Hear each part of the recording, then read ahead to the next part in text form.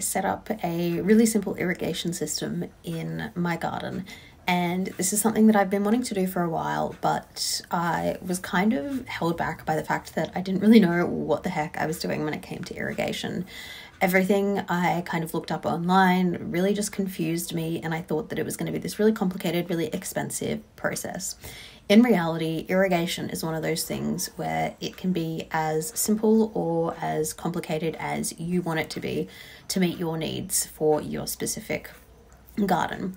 And now that I've kind of had a go at it and I've actually realized what's involved in irrigation, I've realized that it's actually quite simple. And I wanted to share with you basically what I wish I'd known before I started this whole process. So let's start by looking at some of the reasons you might want to start using irrigation in your own garden. An irrigation system can ensure that you're using water efficiently by delivering water directly to where it's needed, like the roots of the plants, and minimizing water waste from runoff, evaporation, or overspraying. It can also be time saving. An irrigation system can automate the watering process, allowing you to save time and effort compared to hand watering or using a hose, or you could have two systems going at once. Now, irrigation can be as cheap or as expensive or as simple or as complicated as you want it to be. I opted for a relatively simple uh, system because I wanted something that was probably only going to be temporary because I am not really sure if I'm living in this place long term or what the go is at the moment. So I wanted something that wasn't going to be too expensive and something that I could really easily just remove and take with me if I have to move. So in order to set up your own irrigation system, I think that there's really only four main things that you need. So the first one seems pretty obvious, but you're going to need a water source. You're going to need somewhere for the water to come from, and this is most likely going to be an existing tap that you're probably already watering your garden from.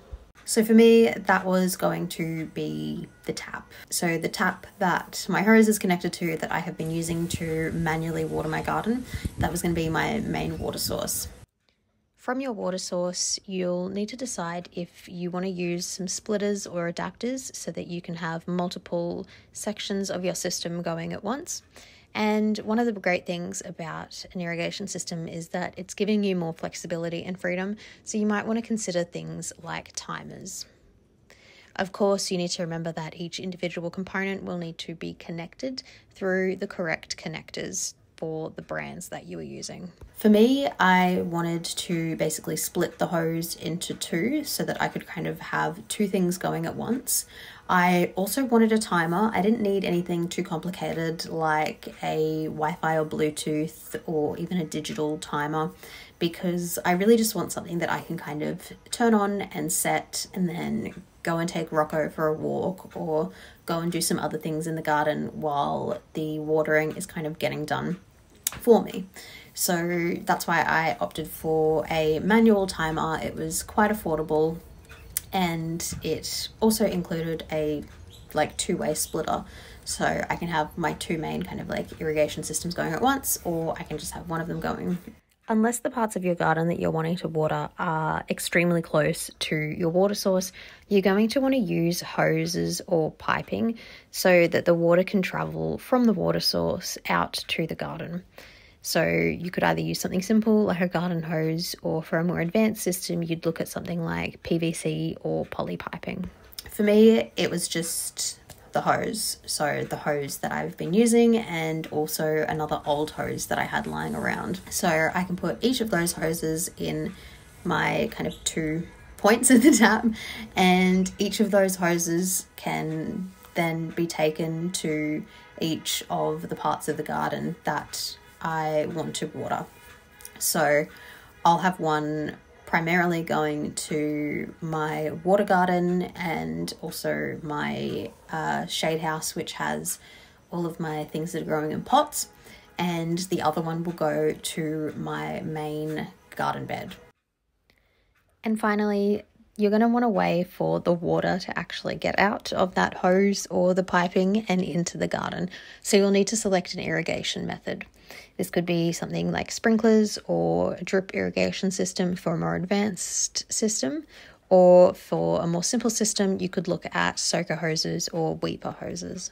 So I opted for two different types of irrigation.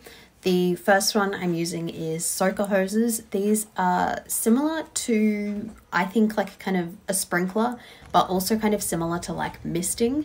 I am going to be using those for my water garden and my two shade houses. And then I am going to be using a weeper hose for my main garden bed with my annuals and all of my vegetables that I'm growing. So I opted for these because they were the most affordable and also because they kind of suited the needs of each.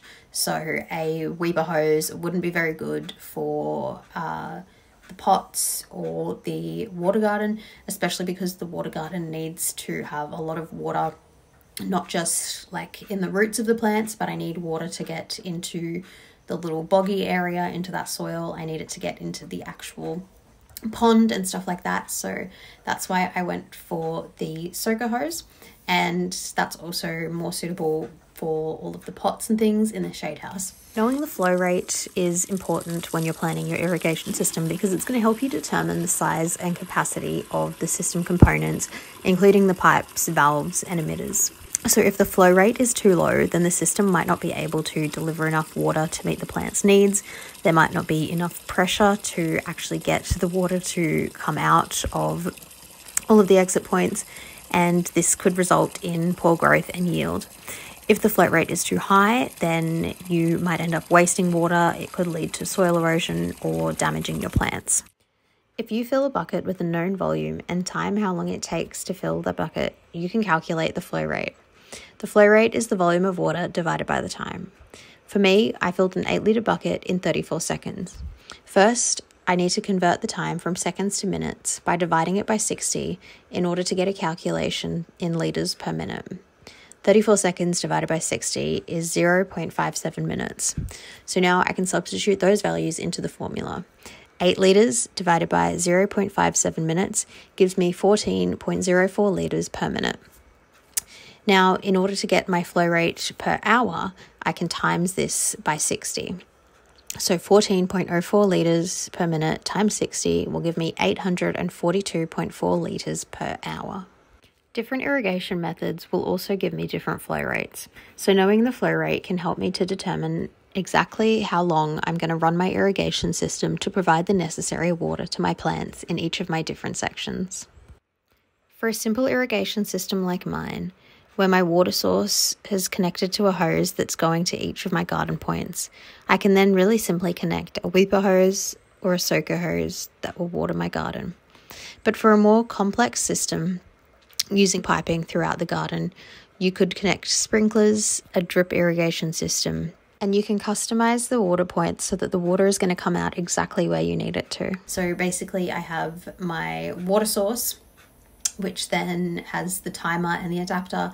I've connected two hoses. The hoses go to each of the sides of my garden, and then from there I can connect the soaker hoses or the weeper hose and just let that system do its thing.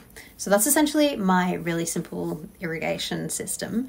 It's nothing too complicated, it's nothing too expensive. It allows me to make sure that I am watering different areas appropriately, and it also means that I can kind of just set and forget while I go off and focus on other things.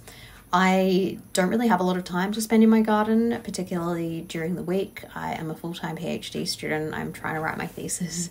I am also studying a diploma. I run a social enterprise. I work. I do a lot of things. So as much as I would love to just spend hours a day in the garden, I don't have that kind of time. And having this irrigation system allows me to just kind of get back that time that I would normally spend standing around watering the garden and allows me to focus on other things so that I can be a lot more efficient and a lot more productive in my garden. So I hope that makes things a little bit easier to understand. Once you kind of understand that these are kind of like the four basic components of an irrigation system, you need a water source, you need a way to connect and control everything. You need a way to get the water to the actual gardens that you want to get the water in, and then you just need a way for the water to come out of those um, hoses and pipes. It's really not that complicated. Uh, obviously, on top of that, you can add fancier timers, you can use all of these additional things, but I think for the sake of this video and just kind of sharing the basics, that's really what kind of helped me to get my head around it. And I'm sure that as my permaculture journey progresses, I will no doubt add some more fancy things to my irrigation system, but for now, it is perfect and it works perfectly.